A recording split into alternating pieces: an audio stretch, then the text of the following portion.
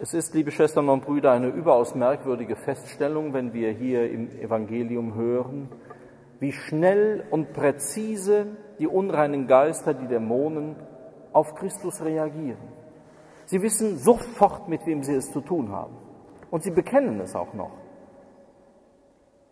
Demgegenüber stehen die in der Nachfolge, die, die mit Jesus gehen wollen, die sich für ihn entschieden haben, die er seine Jünger nennt die Männer und Frauen damals und uns heute.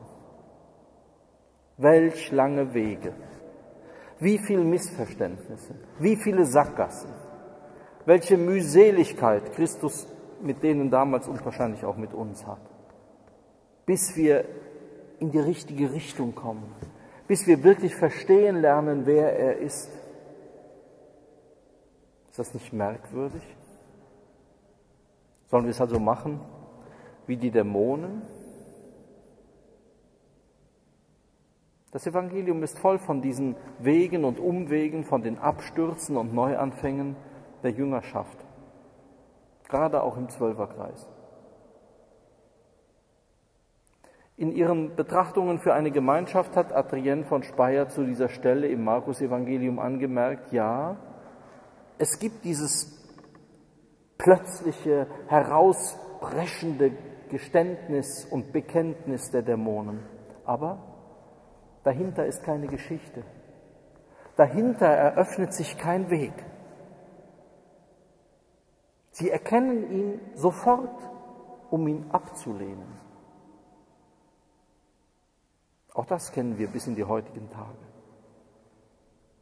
Die scharfe Abgrenzung, weil man weiß, mit wem man es zu tun hat und dagegen wir als Kirche lahm, manchmal sehr langsam, missverständlich, missverständlich in dem, wie wir leben, in dem Versuch, ihm nachzufolgen, ihn zu übersetzen, sein Wort, aber dennoch ein Weg. Die ganze Nachfolge ist ein Weg, der eine Geschichte hat, manchmal eine sehr verschlungene Geschichte, manchmal auch eine Schuld, eine, eine Geschichte von Schuld und Verrat aber eine Geschichte, die allmählich und ganz langsam hinfindet zu einem Bekenntnis, das den Dämonen gleich zur Verfügung steht. Der Raum dahinter. Jesus zu entdecken und in ihm Christus zu finden, den wahren Gott, den Sinn des Lebens, das Ziel aller Wege. Das bleibt den Dämonen verschlossen aber unser Weg muss es sein.